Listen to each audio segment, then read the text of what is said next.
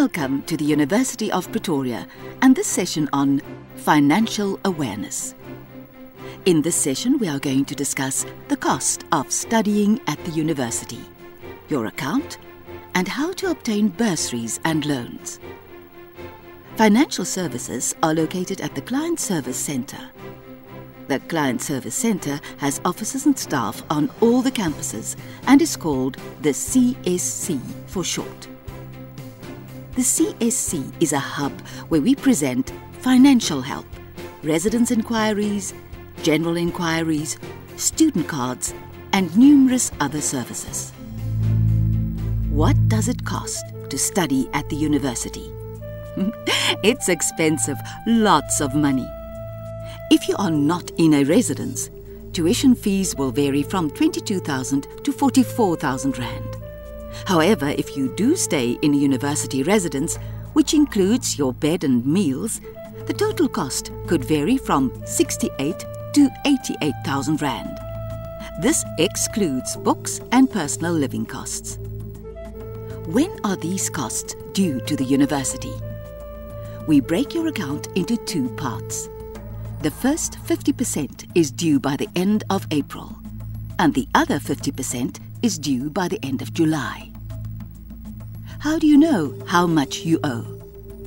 You need an account with a correct postal address.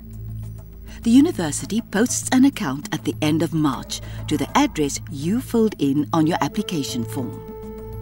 This must be the address of the person responsible for paying your account, usually your parents.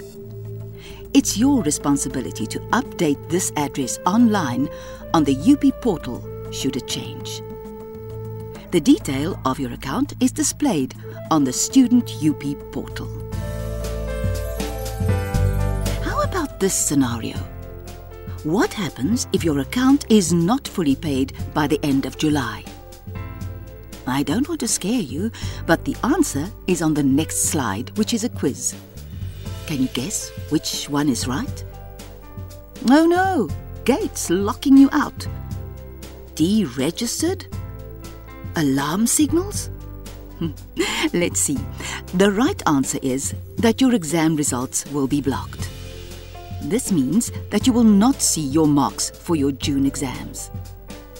If you cannot afford to pay your account in full or partially at any time during the year, it is your responsibility to apply online for financial aid and come to the Client Service Centre for assistance. Just a note for those of you who are in this lecture and who have brothers or sisters already at this university. There is a discount if there's more than one sibling from the same family at this university. Since we do not know that you are related, inform us at the Client Service Centre and apply for this discount. Let's look at your options to get financial assistance. First of all, your parents could get a study loan from a bank at a lower interest rate. Or you can go to EduLoan, which is a private company that does low interest rate student loans and has an office in the piazza on the Hatfield campus. Education students, our future teachers, can apply for a government bursary called Funza and other students can apply for government NS FAS loans. The university has numerous support bursaries which you can apply for, and you can also apply for bursaries at private companies. The University of Pretoria offers Achievement Awards, which you do not apply for, as they are based on your grade 12 results. If you do qualify, you will receive a pleasant surprise in your April account. For Leadership Awards, you need to apply on the Student UP portal. If you were in the top of a national Olympiad for science, maths or accountancy, you are eligible for a Leadership Award. If you were in a leadership position at school, you could also qualify for a small award. For these leadership awards, you have to apply and you need to submit a testimonial from your school as proof. As new first years, it's crucial that you apply for these bursaries, loans and leadership awards.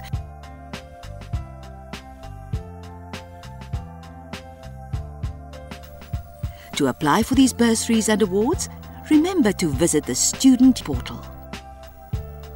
If you need more information on study costs, financial aid or bursaries, please visit the Client Service Centre.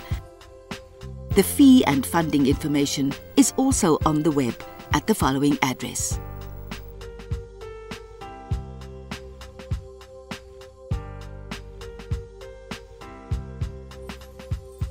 The financial information brochure will provide you with this and more information. Please take the time to read this and familiarize yourself with the various aspects that affect your university account and finances. Thank you, and good luck with your studies.